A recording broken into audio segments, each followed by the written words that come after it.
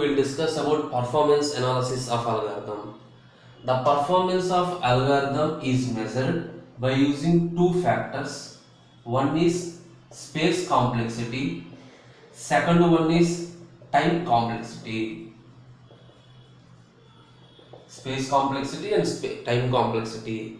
Space complexity specifies the total amount of memory needed by the algorithm for completion of its task. That is to complete the task, how much amount of memory required by the algorithm. That specifies space complexity. Time complexity specifies the total amount of time needed by the algorithm for completion of the task.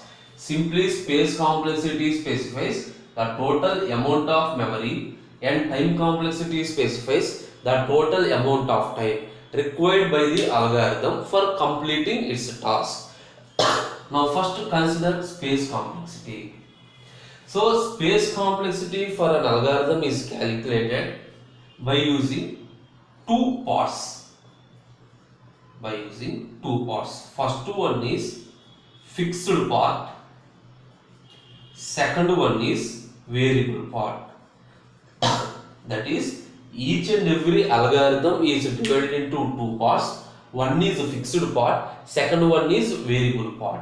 Fixed part means simply the variables that have independent characteristics. That is one variable doesn't depends on any another variable. Simply fixed part contains constants, inputs and outputs that is independent characteristics variables are considered as a fixed part. Simply variable part means it dependent characteristics that is a variable depend on another variable that contains it has dependent characteristics that is instance characteristics of a variable are considered as variable part. So space complexity for an algorithm is calculated by using both fixed part and variable part. Now consider an example for implementing space complexity. Simply algorithm. Suppose name of the algorithm is ABC. If it contains three parameters x, y, z. Suppose a single statement written some x into y into z plus x minus y a simple written statement. So space complexity of algorithm. Suppose s of p represents here suppose p represents a program. Space complexity of program p is divided into c plus sp here c represents fixed part. Sp represents variable part. So in this example, in this example, first to identify which variables comes under fixed part, which variables comes under variable part. First to consider fixed part, we have three variables x, y, z. The three variables does not depends on any other variable. So these three comes under fixed part. The algorithm doesn't contains any variable part. It contains only three values x, y, z. For example, if each word requires one unit of memory, if each variable requires one unit of memory, so total it contains three units. That is the space complexity for this algorithm is simply 3. That means it contains only fixed part. It does not contains any variable part. Consider one more example. algorithm for example sum of x comma n for example algorithm sum of x comma n initially sum total is equal to 0 for i equal to 1 to n do total is equal to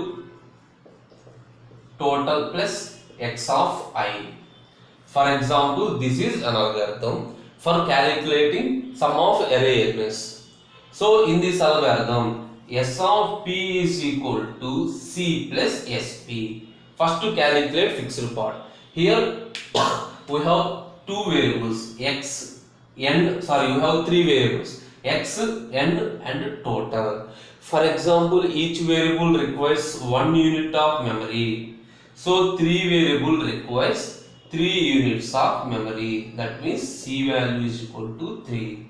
That means that to store value x, we need one unit of memory. Value n, we need one unit of memory. Value total, we need one unit of memory. So for storing three variables, we require three units of memory. Now coming to variable part. So in this, this is a variable part. That is the variable part that array elements depends on value of n. For example, if value of n is 5, we need 5 spaces. If value of n is 100, we need 100 units of memory to store all 100 elements. That is the array values depends on n. Array values depends on n. This is variable part. this variable part depends on n value. Now this algorithm. So variable part is s. Finally s of p is equal to constant 3 plus n. That means this part is repeated. That is this part requires n units of memory. If n is equal to 10, we are storing 10 words. So 3 plus 10. If n is equal to 100, we are requiring 100 units of memory. 3 plus 100. so variable part depends on some instance characteristic. Now consider one more example. Algorithm suppose perform recursive calculation. If n less than or equal to 0 simply return 0 else return rsum of x comma n minus 1 suppose sum x of n we are returning this value. This is a recursive algorithm. Generally recursive algorithm uses stack. Recursive algorithm uses stack. So stack requires three units of memory. Generally stack contains the space for formal parameters the space for local variables and space for return address. Each and every stack contains formal parameters, local variables and return address. So generally it requires 3 units of memory. Otherwise, so for each call to rsum, suppose whenever we are calling rsum, for each call to rsum, x requires 1 unit of memory, n minus 1 that is the value of n requires 1 unit of memory and address so here x represents simply the base address, x of n represents the corresponding value. So we require 3 units of memory.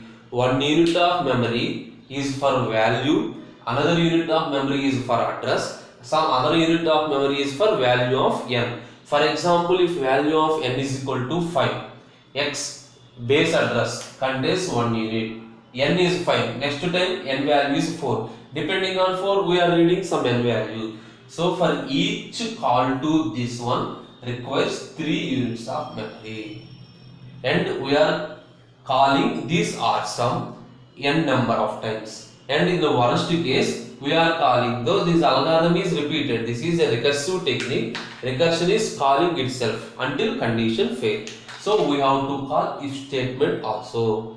If statement is calling only one time so total it calls 3 into n plus 1 number of times. So this algorithm doesn't contains any fixed part. So each part depends on any independent, characteristic. So it contains at least 3 into n plus 1 space of to execute this algorithm.